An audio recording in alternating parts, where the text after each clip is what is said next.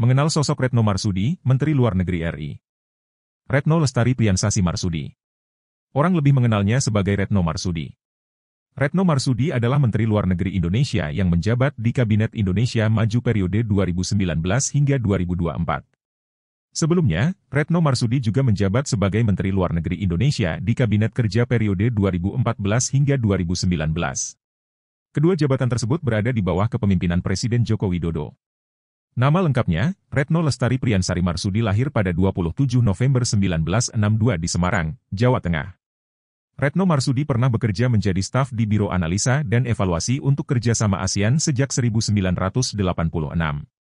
Ia mengawali karirnya sebagai diplomat saat berusia 30 tahun.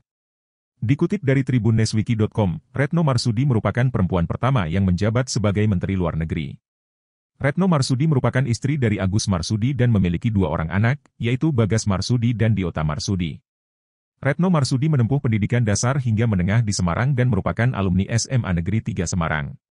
Setelah lulus dari SMA Negeri 3 Semarang, Retno Marsudi menempuh jenjang pendidikan tinggi di Universitas Gajah Mada dan meraih gelar S1 dari universitas tersebut pada 1985. Tak berhenti di situ, Retno Marsudi berhasil meraih gelar S2 Hukum Uni Eropa dari Haagse Hogeschool, Belanda. Retno Marsudi mengawali karir sebagai diplomat di usia 30 tahun. Perlahan, karir Retno Marsudi mulai melejit. Pada 1997, Retno dikirim ke Belanda sebagai Sekretaris Bidang Ekonomi di Kedutaan Besar Republik Indonesia di Den Haag.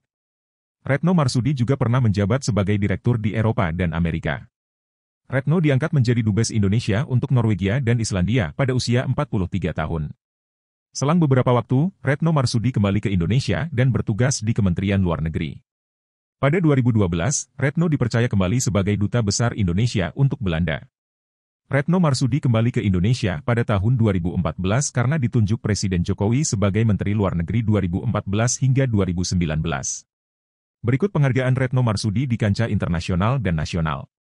The Order of Merit, Grand Officer The Second Highest Decoration, Norwegia, Desember 2011.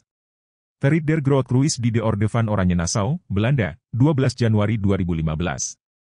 Penghargaan Agen Perubahan dari PBB untuk Kesetaraan Gender dan Pemberdayaan Perempuan, UN Women, 21 September 2017.